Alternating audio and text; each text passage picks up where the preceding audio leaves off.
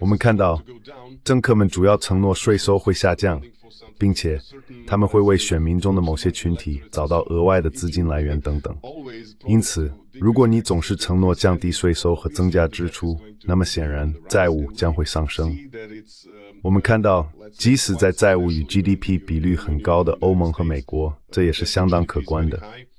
在那些有更多外国投资者且没有能力发行自己货币的国家，如希腊、意大利或法国，这可能会成为一种可能会在国际投资者领域中破坏其信用评级的因素。如果我们只是坚持这种非常僵化的看待事物的方式，并且无论成本如何都不对公共债务进行货币化，这可能会产生无法轻易解决的财政问题。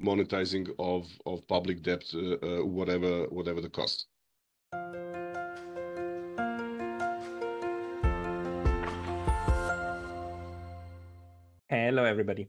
This is Pascal from Neutrality Studies, and it is 大家好我是来自中立研究的帕斯卡尔。今天我非常高兴再次向大家介绍一位顶级经济学家和真正的货币实践者。我身边的是德扬·绍斯基奇，他是塞尔维亚国家银行的前行长。当然，这就是塞尔维亚的中央银行，也就是印制塞尔维亚货币的机构。他在二零一零年至二零一二年期间担任此职。绍斯基奇博士目前也是贝尔格莱德大学经济学院的教授，并担任多家私人和中央银行的顾问。绍斯基奇教授，非常感谢您今天上线。Thank you so much for coming online today. Thank you for inviting me. 谢谢邀请我。我一直想和真正的中央银行家交谈，因为中央银行是货币系统中最迷人的部分之一，也是金钱与政治的交汇点。我的第一个问题是，我总是认为中央银行家可能会使用非常现实的方法来估计经济以及经济的不同部分如何协同工作。对我来说，最能描述这一点的理论即货币机制，是现代货币利益 （DMT）。Trap nang wang nong small, efforts 遵循 MMT 的思维。 Formal central banker. Do you follow MMT thinking or not? Well, you know, I've been uh, obviously uh, introduced to the subject. 你知道 and, uh,，当这个话题在国际领域出现时，我显然已经接触到了。 sounds, uh, 现代货币理论听起来很创新和现代等等， 但基本上，如果我看这个理论中的某些元素，我认为并没有太多新意。如果你说政府可以印自己的钱，我们知道，对吧？如果政府债务是以本国货币计价的，它总是可以毫无问题的为政府债务融资。我们知道这一点。我的意思是你坐在日本，日本基本上是一个很好的例子。Uh. 说明一个国家甚至可以将公共债务与 GDP 的比率推高到百分两百五十以上，而不会出现公共债务危机，因为这不一样。你是以自己的货币发行债务，你可以印刷，还是以另一个国家的货币发行债务这基本上是今天欧元区大多数国家的情况。And for the emerging economies also, which are, you know, forced. 对于新兴经济体来说，为了出售他们的政府债务，他们或多或少被迫将这些债务以美元为主，某种程度上以欧元计价，对吧？所以那些有能力发行自己货币，并以自己货币计价债务的政府，永远不会破产。我认为这比容易理解和遵循更重要。现代货币理论基本上是在试图复兴一些在世界各地货币政策历史上曾 norais de figure history of um, monetary uh, policies throughout the world. We have seen in many instances situation in which the governments would 我们看到过许多情况下，政府印制的货币超过了维持物价稳定所需的适当水平。例如，人们往往会想到1967年以色列与阿拉伯邻国的战争，但人们并不总是记得，当时以色列正经历着高通胀，年通胀率超过百分之四百，因为他在为这些巨额开支融资。更不用说威玛共和国在1922年和1923年的通货膨胀。？STEM 书中读到过这些。Been reading about that from Remark books and so on. Um, after the Second World War, in many countries, including 二战后，在包括我出生的南斯拉夫在内的许多国家，我们经历了一个相对高通胀的周期，因为政府基本上是在印更多的钱来支付他们之前没有征税的开支。他们依赖于可以通过印钞来支付这些开支的事实，而无论他们收集了多少税，都被认为是足够的。但仍有需要支付的盈余，而这盈余是通过印钞来支付的。然而，问题是根据你这样做的程度。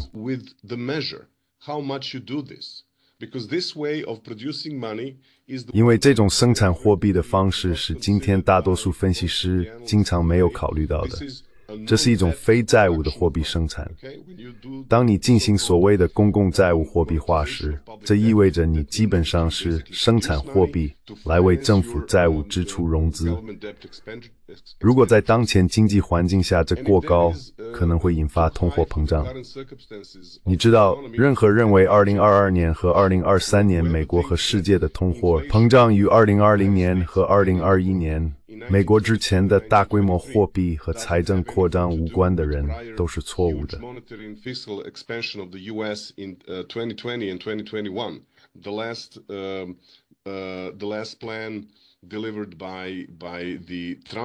特朗普政府的最后一个计划和拜登政府的第一个方案都非常庞大。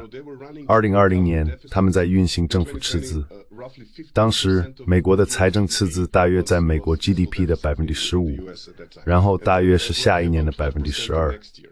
之后，不仅在美国，而且在全球范围内都出现了通货膨胀，因为美元被用于大多数国际交易以及国际市场上商品的交易。所有这些交易或多或少都以美元表示。因此，一旦美元在其自身市场上开始贬值，它也会在任何用作支付手段的地方开始贬值。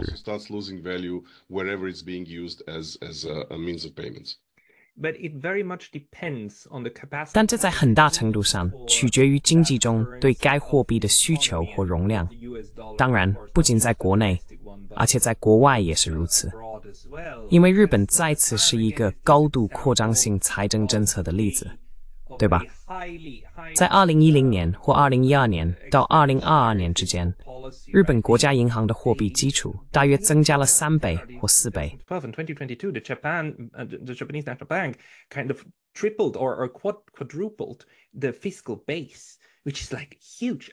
这很重要，但他们没有达到百分之二的通胀目标。这只是表明市场想要吸收这一点，对吧？市场喜欢以日元计价的政府债券，他们就像。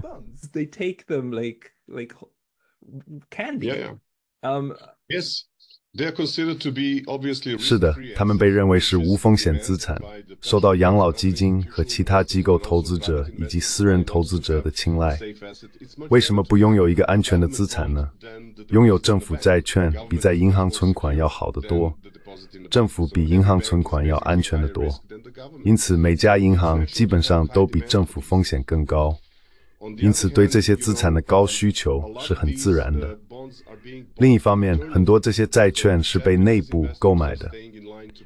日本投资者排队购买日本债券，因此系统的脆弱性比一些新兴市场或者像希腊那样的情况要小得多。因为外国人持有大量债务，并且在感知到风险上升时愿意撤出。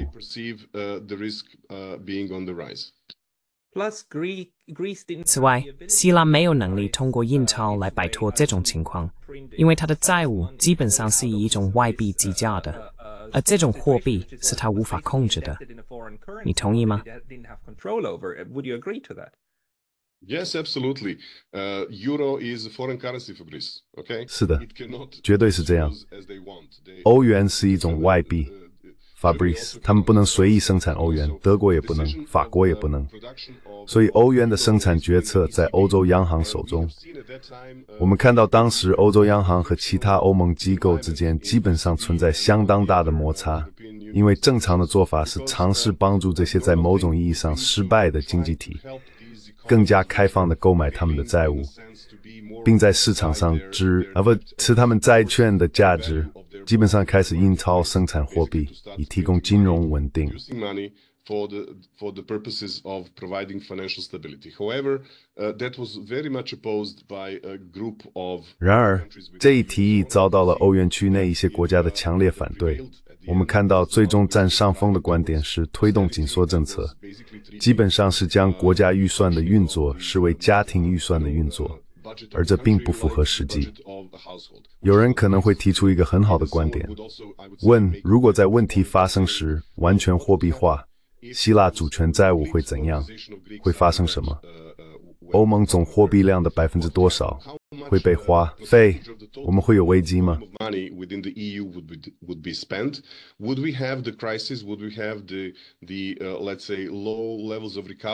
我们是否会有2007年和2008年危机后像欧元区那样的低水平复苏？那么，坚持这种在某些情况下。不能使用公共债务货币化的非常严格的公式的成本和收益是什么？我想说的是，在过去的二十或三十年里，公共债务不货币化已经成为全球金融圈的主流教条，即这是绝对不可以做的事情。实际上，你不能直接印钞购买政府债券，但你可以做同样在偶尔所谓的二级市场上印钞购买政府派。print money and buy the government bond on so-called secondary markets. Now, what is the difference between these two paths? 那么这两条路径有什么区别呢？第一条路径是将公共债务货币化，对吧？创造更多的钱。第二条路径实际上是这样说的：政府如果想借款，需要在私人市场上借款，把债券卖给银行和其他人。然后你就不会扩张货币，但是然后可以说，在一个单独的步骤中，中央银行会根据他们的公开市场政策开始购买这些债。So all，and we might have a big sports need thirty 的，所以不完成，而是分 investing。结果相当相似，你这样子。你在削减私营部门的开支。并给他们比原本更多的利润，对吗？因为你以稍高的价格从他们那里购买。Yes, I mean, the bond is actually, as you have said. 是的，我的意思是，正如你所说的，在日本的情况下，债券实际上是一个非常非常受欢迎的资产，在许多其他国家也是如此。有些人说，富人和富有的机构没有被征税，而是被给予了一个机会，基本上可以投资于债券并获得利息，对吧？所以这与那些主张通过增加税收来解决全球公共财政部门相关问题的人是一致的。因为如果我们分析过去几十年正常政治周期中发生的事情，我们会看到政治家主要承诺税收会下降，并且他们会为选民中的某些群体找到额外的资金来源等等。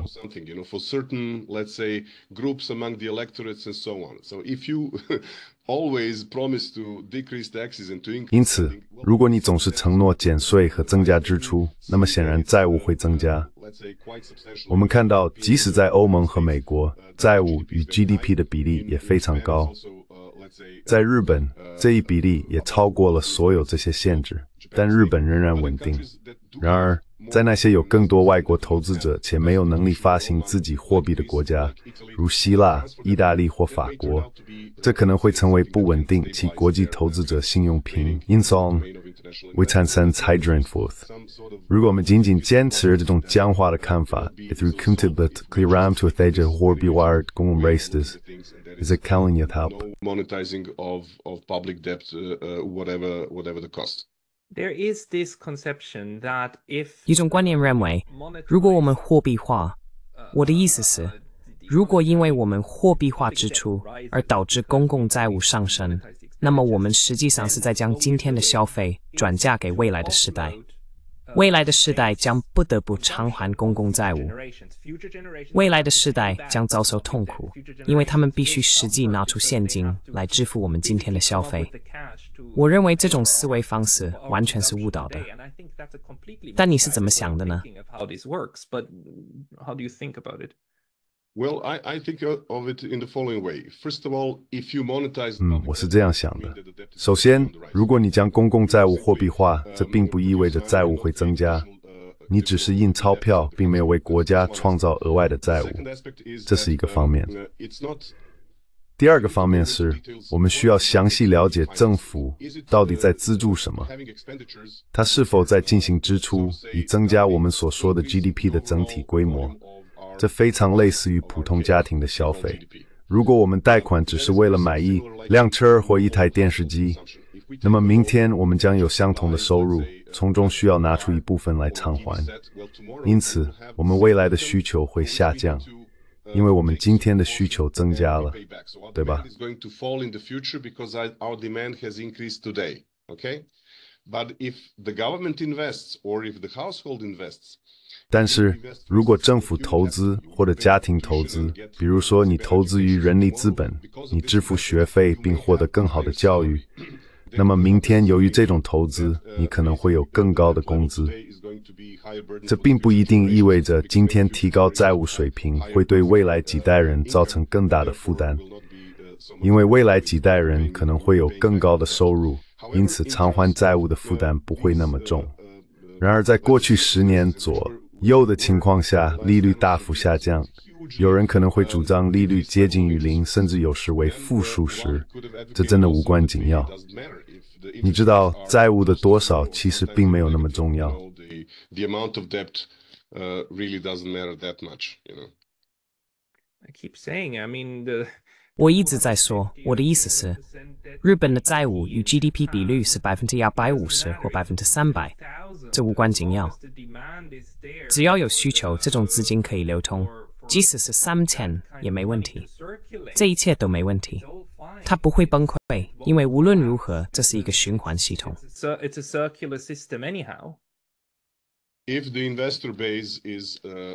如果投资者基础准备好投资，就像你所说的，只要债券可用，那么如果有需求，如果没有人想退出，如果有已发行债务的国家可以生产的货币计价的债务，这是一个非常重要的方面。如果有一个国家有可能增加其他税收，比如日本，啊，我了解到它的增值税相对较低，对吧？是的。所以在这样的经济体中，如果你能解，Daniel 老师的 mental 可能为什么增值税方面稍微提高为，就会为政府创造巨大的收入。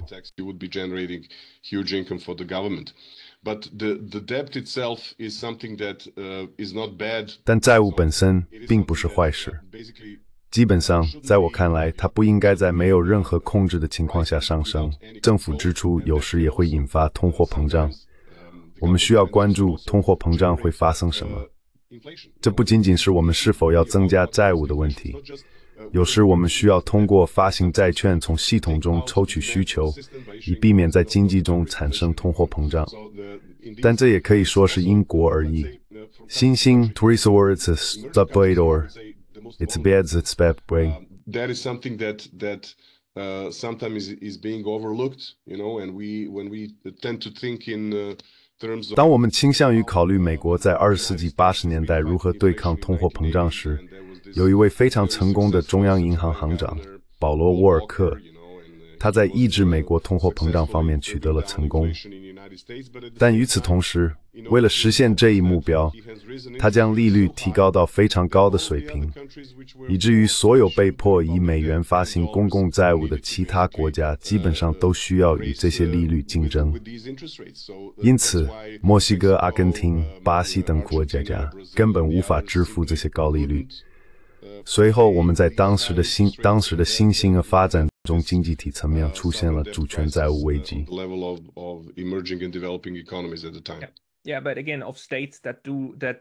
是的，但再次强调，那些发行以非本国货币计价债务的国家，这就是最初的问题，对吧？有时候你不得不这样做，但这就是你失去控制的地方。我需要稍微转换一下话题。因为你作为塞尔维亚国家银行的行长，凭借这个职位，在二零一零年也成为国际清算银行董事会的成员，对吧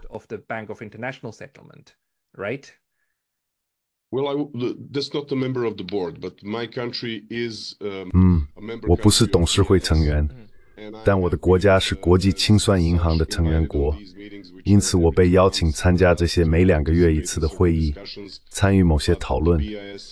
国际清算银行可以说是一个非常有用的讨论平台，但与此同时，最重要的国家基本上在全球金融体系潜在监管的制定中更为参与。uh, potential regulation uh, for for the financial system as a whole in the world. I was just wondering about the BIS, 我只是想了解一下国际清算银行，因为它是一个非常有趣的机构。它基本上是以超国家的方式存在，并且作为一个银行对自己拥有主权。作为中央银行的银行运作，围绕它的存在和神秘运作有很多传言，但我认为很多都是误解。我的意思是。国际清算银行究竟是做什么的？当你参加这些会议时，你主要关心的是什么？What was the main thing that you were concerned with? A lot of things that are being discussed were basically. 很多正在讨论的事情基本上是关于银行系统和其他金融机构的监管。这是一个很好的论坛，中央银行家可以聚在一起。他们基本上会制作一些公开可用的文件。当你访问 BIS 的网站时，你会看到一些正在进行中的文件。这些文件是公开可供任何人阅读、分析和批评的。通过这样做，他们基本上帮助这些文件的发展，直到他们达到最终阶段。以他们打死 little bird frail 在过程的过时。Bury Sichong Shishir Jian Train to borrow. Local national legislations in order to um, properly work. And I would say that that, that is a very good system of 我会说，有一个非常好的系统，为像银行这样的机构提供公平竞争的环境。这些银行在不同国家运营，以避免因为在一个对银行要求较低的司法管辖区运营而获得某种比较优势。这通常被称为为了避免复杂环境而从一个司法管辖区转移到另一个。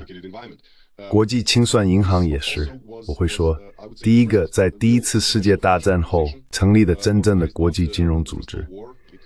它基本上被期望促进根据凡尔赛条约对某些国家，主要是德国所产生的支付义务，对吗？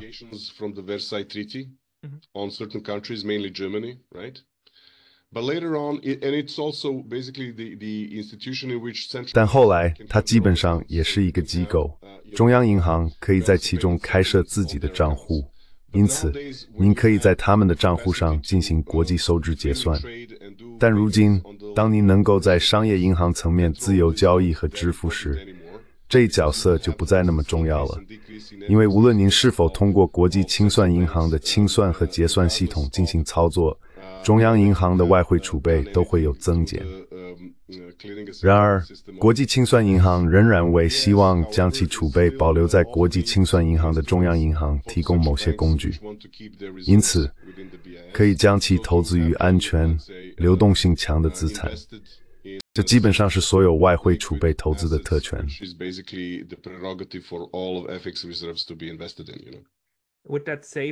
对于国际清算银行来说。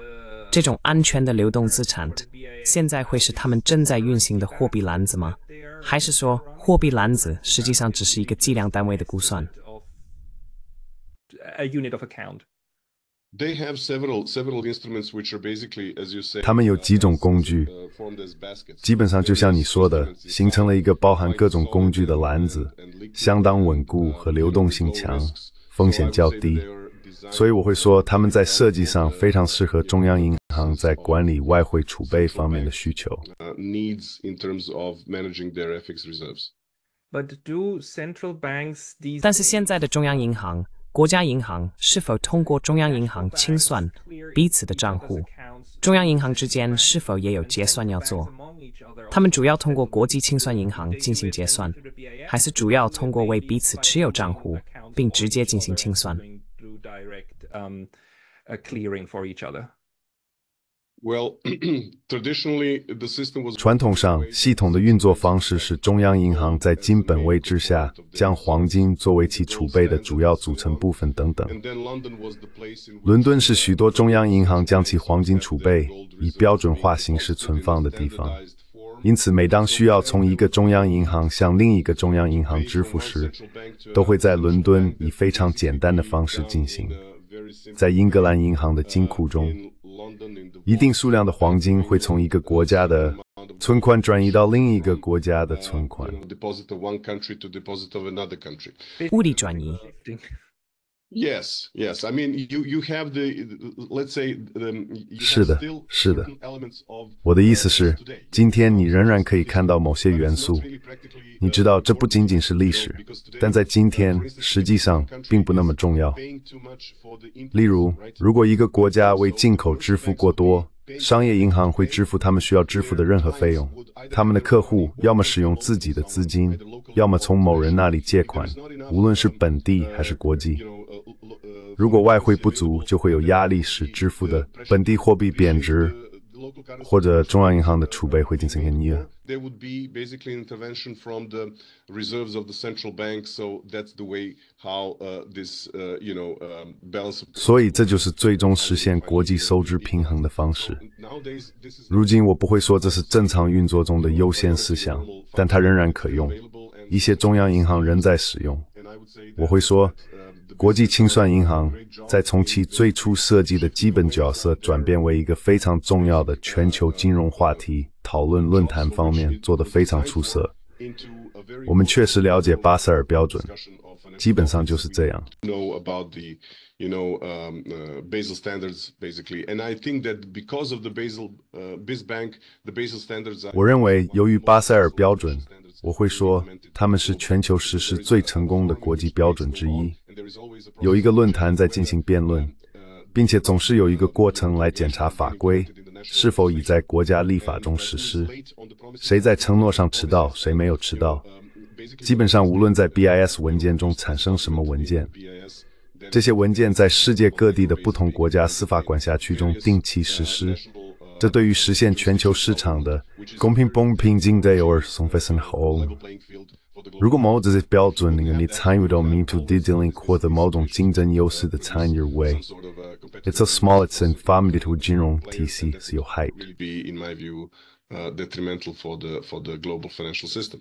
And correct me if I'm wrong, but my impression 如果我错了，请纠正我。但我的印象是，中央银行家通常主要关注和关心银行业的稳定性，而不一定是金融市场，而是银行业。你希望这方面是稳定运作的，对吗？To be working stably, right?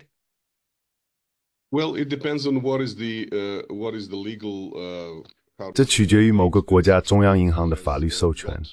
主要来说，中央银行关注的是价格稳定目标是实现低水平和稳定的通货膨胀。然后，一些中央银行，比如欧洲中央银行，也负责银行业的监管。还有一些中央银行也监管金融市场的其他部分和其他类型的金融机构。um, uh, parts of financial markets and other types of financial institutions. Uh, since the crisis of 2007-8, central banks 自2007到2008年危机以来，中央银行主要也承担了整体金融稳定的职能。通常在国家层面会有一个协调机构，连接中央银行、财政部以及可能负责某些金融机构监管的其他机构。他们需要在国家层面设立某种金融稳定委员会或类似机构。因此，金融稳定如今。也是中央银行的一项非常重要的职 Financial 责。